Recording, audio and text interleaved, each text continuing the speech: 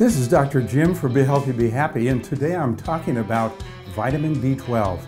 Vitamin B12 works to preserve DNA, neurotransmitter, gastrointestinal, and cardiovascular integrity.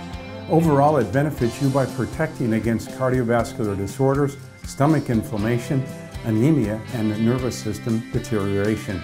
And get this, vitamin B12 in combination with another vitamin called folic acid prevents the devastation of a condition called spina bifida in newborns. The recommended dietary allowance of vitamin B12 is 2.4 micrograms per day for both adult males and females, which are revised upward for women who are pregnant or breastfeeding.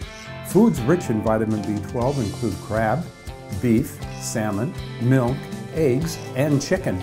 Vitamin B12 can also be taken as a dietary supplement, and most multivitamin and mineral formulations contain sufficient quantities of vitamin B12 to ensure adequate daily intake. It is important also to note this. Individuals who have undergone stomach or intestinal surgery, including bariatric surgery, and those unfortunate individuals with disorders such as Crohn's disease have impaired ability to absorb vitamin B12 and should have their levels monitored regularly.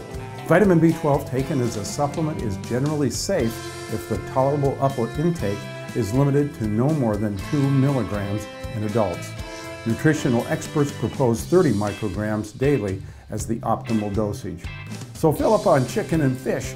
Don't forget your hazelnuts and crab and ensure adequate intake by consuming a quality multivitamin and mineral supplement daily.